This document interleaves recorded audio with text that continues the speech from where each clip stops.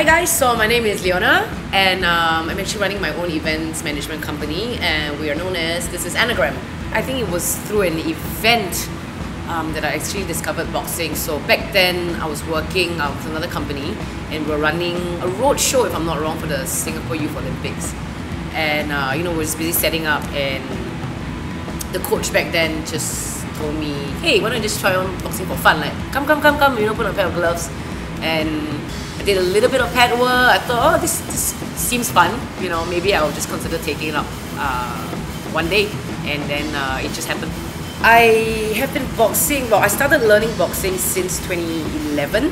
And uh, I stopped boxing for a couple of years in between and have been boxing competitively again since 2013, 2014 and uh, stumbled into teaching maybe one and a half years ago my weeks are never typical. So picking something like maybe say a couple of weeks ago, uh, probably you know wake up 7 or 8 a.m., have breakfast, train, and then rest, uh, deal with work matters, and then train again, and then rest, and then teach, and then deal with work matters. So I think it is challenging in a whole different level, on a whole different level it's tough to be honest. It's tough to you know to be exposed at an international level. These guys train full time.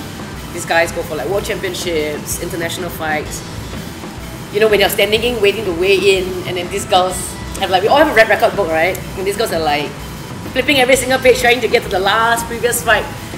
And then I have like my record book at like my first page, which is like not even filled up. It is it is intimidating, but at the same time, it is it is very inspiring. You know, to, to know that one day perhaps someone from Singapore, like a girl from Singapore, can achieve that. And uh, I think as an individual, you know, that's, that, that's how far I want to push myself to. If it's one thing I think boxing has, has taught me would be the discipline. Um, you need to have discipline in whatever you do.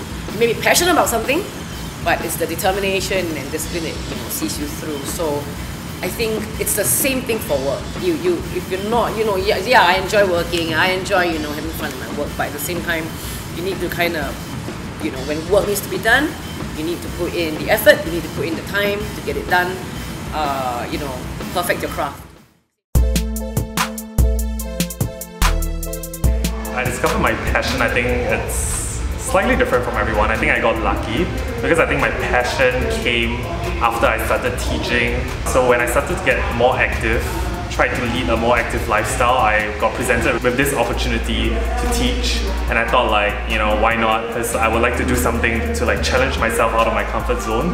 As cheesy as it sounds, I think like when it comes to time, um, it's really how we make of it. It's like because after I committed to this, it became kind of like a responsibility that I, I needed to do. So it's like when I plan my days, it's like I know that okay, from this hour to this hour, this is something that I have to do.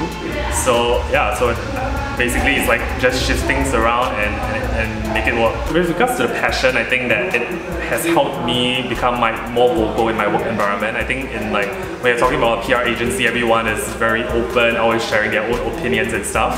Um, I think initially when I started out, I was a little bit more soft-spoken and just like taking the more like observant role. But I think that by doing this, it has helped. It has helped me like stepped up to be more vocal and just you know. It has helped me and my colleagues have seen that, so it's been helpful, I would say. I think the first thing, they were surprised. They couldn't see how I could be quiet at work and teaching a boxing class at night. So, uh, so a few of them actually came for my first class. So it's nice that they kind of like see the other side of me, um, and and they have been very supportive. And so we have this like weekly roundup in our in our office. So they actually put the picture on it, and then like sort of like tell people in the office who don't know that hey, like I'm teaching boxing. If you haven't tried it out, like like come and try. Personally, I think I hope to inspire like people who are who might not be um, the most who might not be leading like the most active lifestyle just to make boxing and just exercising in general like more accessible to them. So I, this is some things that I hope I'll be able to like do for the people who come to my class.